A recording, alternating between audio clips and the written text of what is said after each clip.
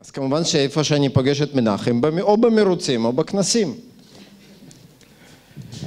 טוב, שלום לכולם, ברור לי שאני בעצם עומד בין כל האנשים שנמצאים פה ולארוחת צהריים, אז אני מאוד מאוד אשתדל לקצר, אני גם מופיע אחרי כל הדוברים הנהדרים שהיו פה לפניי, ולכן אני מאוד מאוד הייתי רוצה להתרכז רק בשתי נקודות ספציפיות. לדעתי אנחנו נמצאים בתקופה מאוד מאוד מאוד ייחודית.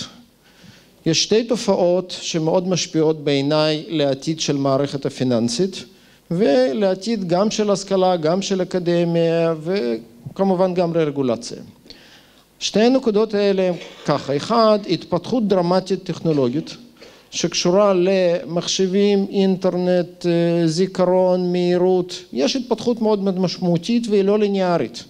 אם תסתכלו בתחום הזה הטכנולוגיה מתפתחת מאוד מאוד מהר ומה שאנחנו יכולים לעשות היום לא יכולנו אפילו לדמיין לפני עשור ואין לנו מושג איפה אנחנו נהיה בעשור הבא. והתופעה השנייה שהיא מאוד מאוד חשובה היא בכלל תופעה כלכלית קשורה למשברים ופוליטיקה. היום אנחנו נמצאים בעולם שרמת הריביות הם אפס. בכל המדינות הגדולות החשובות בכלכלות של ארצות הברית, אירופה, יפן, הריבית היא אפס. עכשיו בואו ניקח את שתי הנקודות האלה ונחזור למערכת פיננסית. מה עם הבנקים? מה התפקיד של הבנקים במערכת פיננסית? איך בכלל מגדירים בנק? בנק זה מוסד שעושה בגדול שתי פעולות עיקריות. הוא לוקח פקדונות ונותן הלוואות.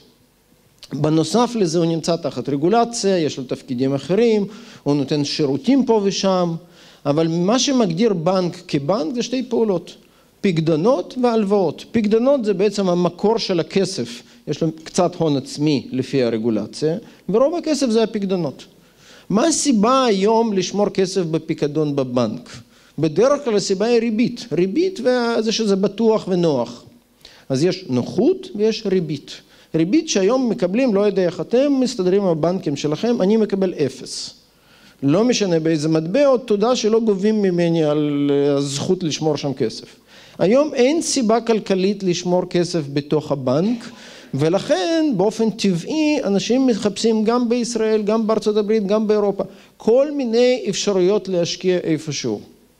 בצד השני, בצד של ההלוואות, גם טכנולוגיה מאוד מאוד התקדמה והיום זה נכון שבנקים יושבים על המון המון מידע. בנקים יודעים ללווה פרטני מה השכר שלו, כמה הוא מבזבז ומה ההכנסות שלו. במקרה של חברה הם יודעים מה המכירות של חברה, מה נכנס, מה יוצא מהחשבון. אבל היום יש מספיק טכנולוגיה שמאפשרת גם לחברות שונות להתחיל לתת הלוואות ואנחנו רואים ניצנים של זה. היום יש הלוואות מ Lending Club ל-P2P והרבה הרבה גופים מנסים להיכנס לתחום הזה. הערכה שלי ששילוב של שני הגורמים האלה, התפתחות טכנולוגית ורמת ריבית אפס, מתישהו בחמש שנים הקרובות אמורה לשנות מאוד את כל העולם הבנקאות, את כל העולם של תיווך הפיננסי. גם בתחום של ייעוץ, גם בתחום של משכנתאות, יש היום מספיק מתחרים לבנקים ולמערכת בנקאית יש שתי אפשרויות. או לנסות להפוך לחברות טכנולוגיה ואז עשרות ומאות אלפי עובדים, לא בישראל, בעולם, יצטרכו לחפש לעצמם תעסוקה אחרת, כי מה שהם למדו במשך עשרות שנים זה לא רלוונטי, זאת אפשרות אחת, או אפשרות שנייה, פשוט כל המערכת יכולה להשתנות, או שזה יהיה במשבר גדול, או שזה יהיה לאט לאט. עכשיו משברים בגלל הטכנולוגיה מתרחשים מאוד מאוד מהר, מישהו זוכר חברת קודק? מישהו זוכר נוקיה? פעם הם היו החברות הגדולות החשובות בתחומם, הם טיפה טיפונת פספסו את המעבר, לא ממש עקבו, קודק היו להם כל הפטנטים בתחום של הדיג'יטל, הם החליטו שאפשר לחכות. נוקיה ידעו שמתישהו יהיה סמארטפון, למה למהר אנחנו שולטים בשוק.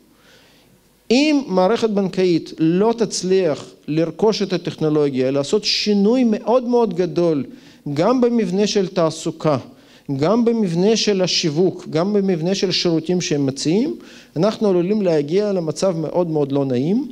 ולכן בעיניי גם הרגולציה צריכה להבין את זה וצריכה לנסות לעשות את המעבר. מעבר הוא בלתי נמנע, רק יש לנו שני דרכים לעשות אותו, או במכה אחד עם משברים, עשרות אלפי מפוטרים, שינויים מאוד מאוד גדולים, או לנסות לנווט לעשות את זה הרבה יותר לאט.